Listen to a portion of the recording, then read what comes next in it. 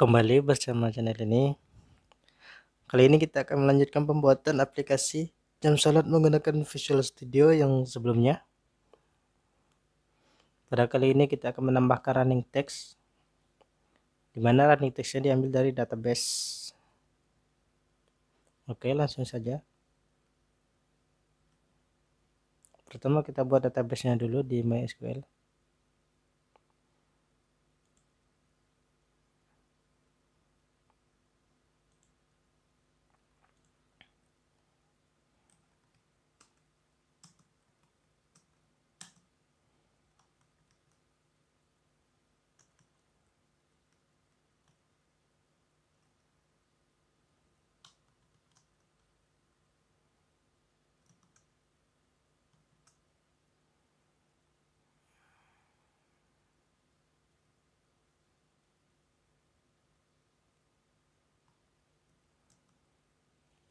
Di sini kita menggunakan dua kolom, ID dan running text.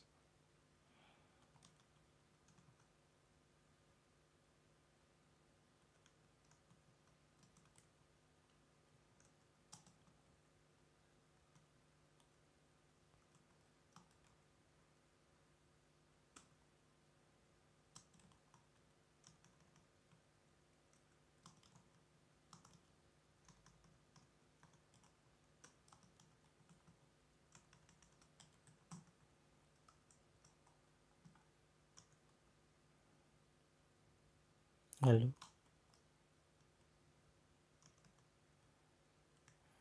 kolom RT sebagai string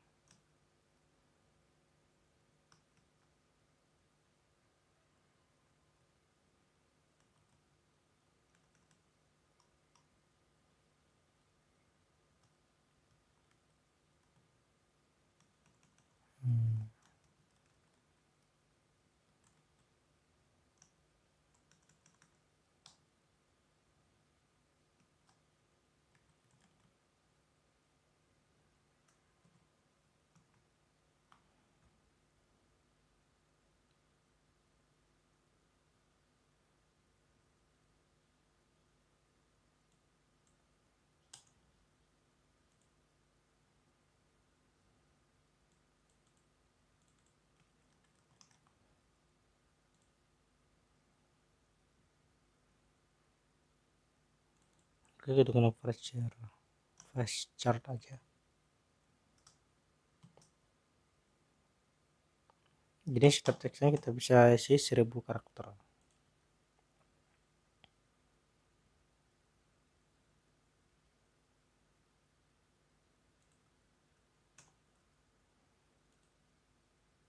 Oke, kita buat saja tabelnya.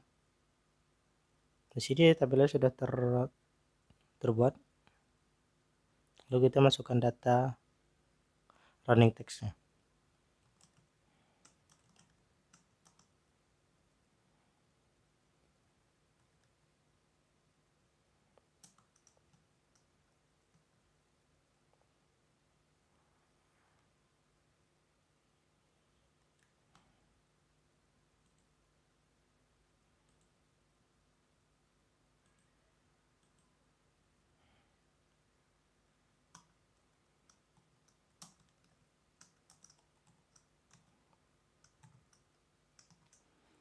Value pertama selamat datang di Masjid Al Mujahidin Pontianak Kalimantan Barat. Oke, itu untuk teks yang pertama. Kemudian kita buat teks yang kedua.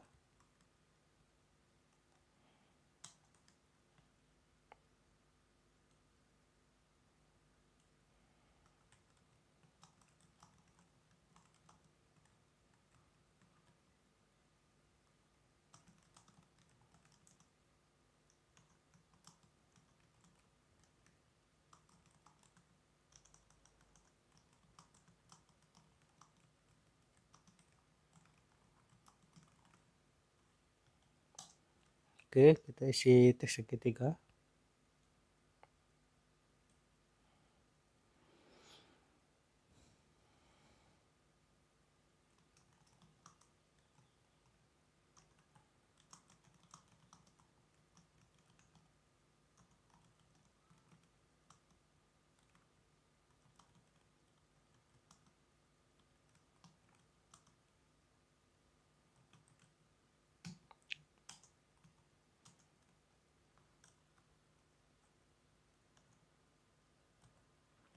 oke di tek teksnya kita isi tiga baris. Lalu kita hapuskan saja.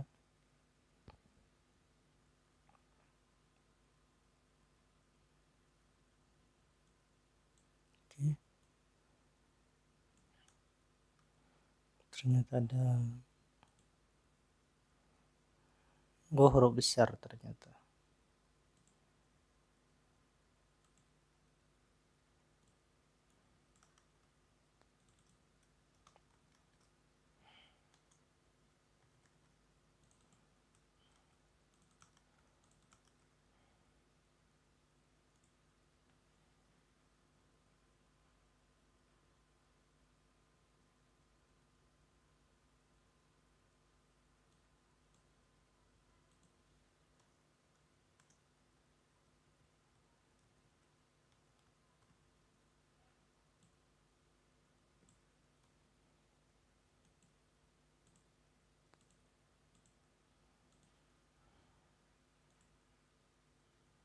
oke.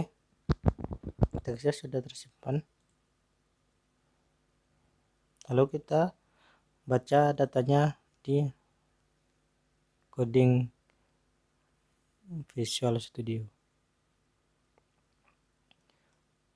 Pertama kita buat dulu variabel untuk untuk teks yang dari database-nya di sini kita menggunakan datasheet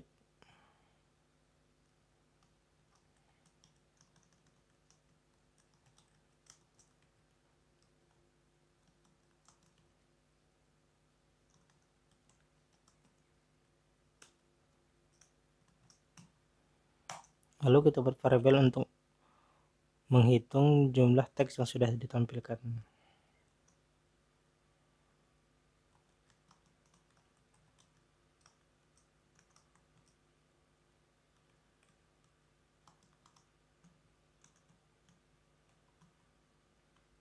oke lalu kita buat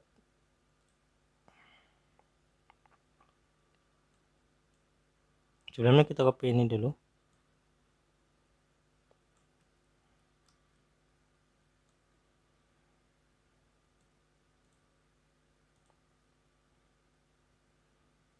Lalu kita buat fungsi baru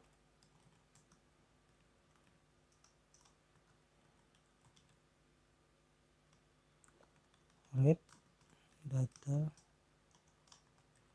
running text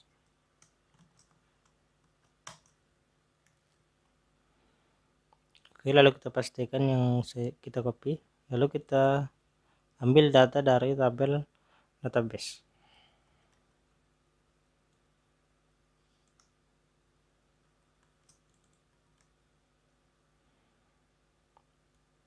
Untuk bagian ini kita ubah. Ataupun kita hapus. Lalu kita ganti ini running text.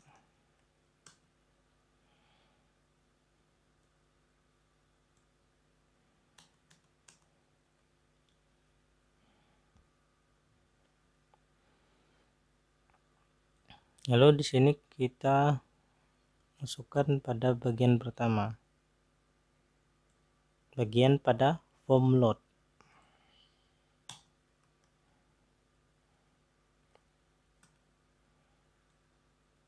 lalu pada bagian bawah ini kita masukkan data pertama ke label running text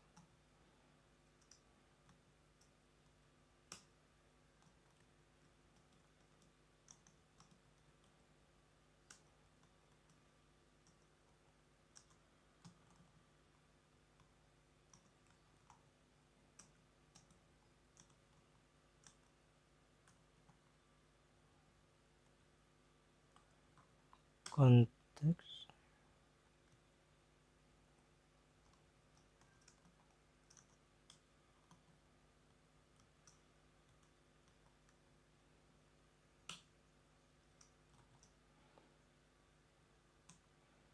Oke, di sini pada baris pertama akan dijadikan data untuk menampilkan di label running text. Lalu kita copy lalu kita selanjutnya pada timer tick. Oh pada running fungsi running tag di sini. Kita tambah pada bagian ini.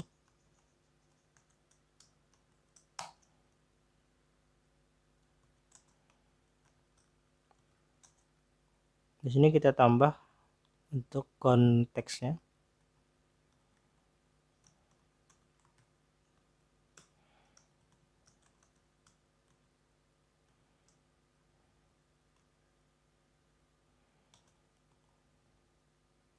if.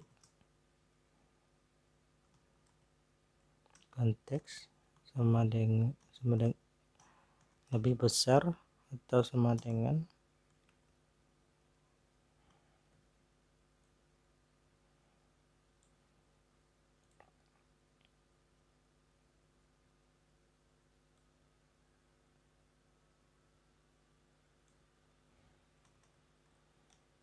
dan itu tapi mau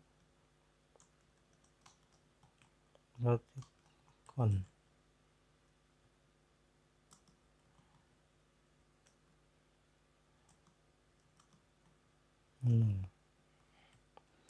lalu kita pastikan ini. Lalu kita pastikan yang pembacaan data dari tabel ke label running text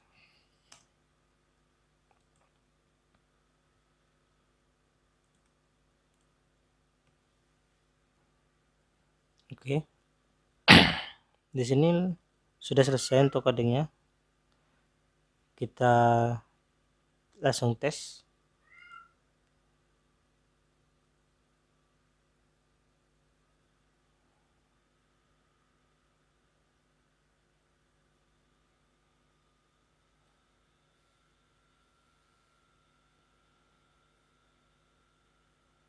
Oke, di sini teks yang pertama selamat datang.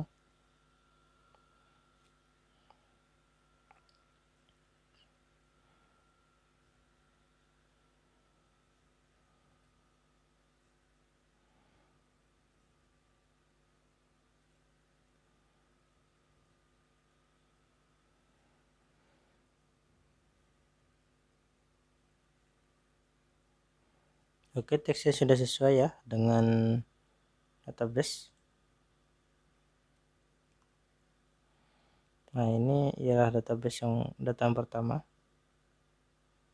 Selanjutnya, setelah data data pertama keluar, lalu akan melanjutkan data kedua, data ketiga.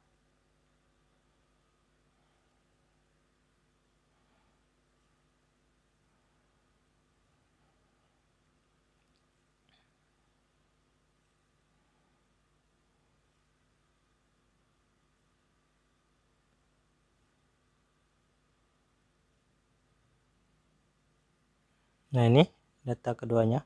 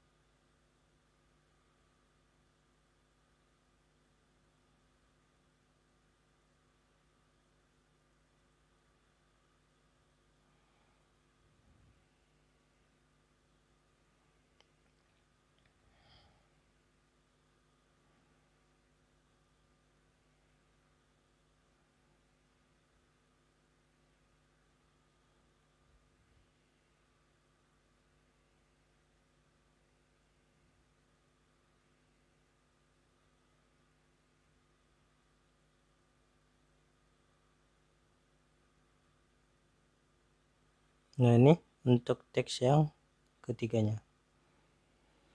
Oke. Cukup sekian tutorial pada kali ini. Semoga bermanfaat. Jangan lupa komen, like, dan subscribe. Jangan lupa bagikan ke teman-teman kalian yang ingin membuat aplikasi seperti ini oke terima kasih atas perhatiannya Assalamualaikum warahmatullahi wabarakatuh